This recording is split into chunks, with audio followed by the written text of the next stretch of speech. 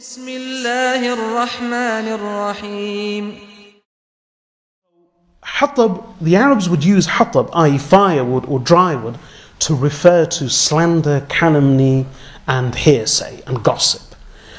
Meaning, gossip, hearsay, etc., are not innocent. They are very dangerous.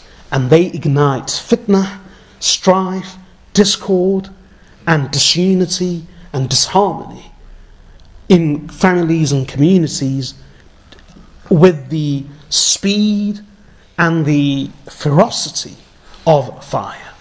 So, Umm Jamil, Abu Lahab's wife, would do the same. She was a famous tale carrier, tale bearer. Always hearing something from here, planting it there, listening to something here, sowing it there, conveying it here, conveying it there.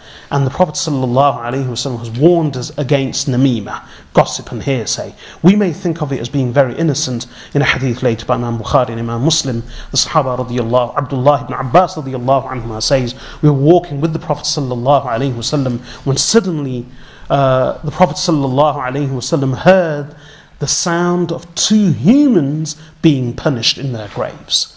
So the Prophet ﷺ proceeded to the graves, and whilst we were standing over the graves, he pointed at them and he said, إن هذان ليعذبان وما يعذبان في الكبير Indeed, these two occupants of the graves are being punished, and they are not being punished for something major.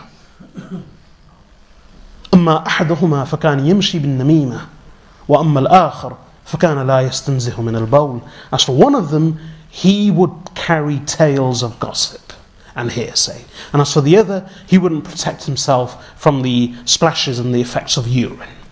So, why did he say they weren't being punished for something great? The reason is, indeed, these two sins are great.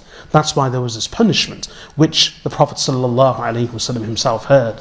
But they aren't considered great, but normally by people. We consider them to be trivial and inconsequential and insignificant. But the Prophet ﷺ said they are both being punished, and they are not being punished for something major, i.e., major in everyone's view. But in reality, these two sins are grave, and the two sins were one, failure to protect oneself from the effects of urine. But the first one, Prophet ﷺ said, أَمَّا أَحْدُهُمَا فَكَانَ يَمْشِي بِالنَّمِيمَةِ He would carry tales gossip, hearsay. And that's why in a hadith, in the introduction of Sahih Muslim, the Prophet ﷺ says, كَفَى بِالْمَرْءِ كَذِبًا أَن يُحَدِّث بِكُلِّ مَا سَمِعَ It is sufficient for a man to be a liar that he relates and conveys everything that he hears.